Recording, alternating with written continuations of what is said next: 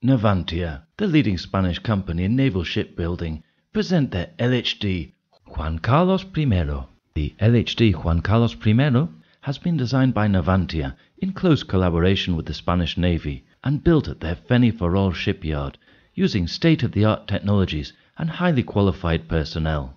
Her innovative design has had an enormous impact on the international stage, and three units have already been ordered by the Spanish and Australian navies. The LHD Juan Carlos I, which the Spanish Navy ordered from Navantia, was laid down in May 2005. It was launched in March 2008 and commissioned in September 2010. Navantia specialize in high technology products and have brought all their experience to bear with this ship, an ambitious product that once again places Navantia at the forefront of the sector.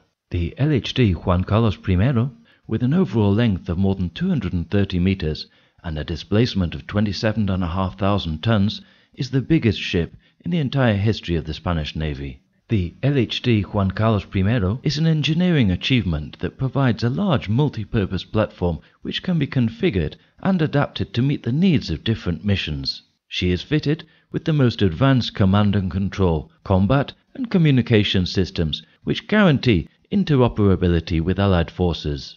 The ship has an advanced system of diesel-electric propulsion. Two azimuth POD thrusters, along with two transversal propellers A4, provide her with great maneuverability. She has 11 decks, four of them configured to adapt to each of the different missions that the ship may carry out. The LHD Juan Carlos I has a 2000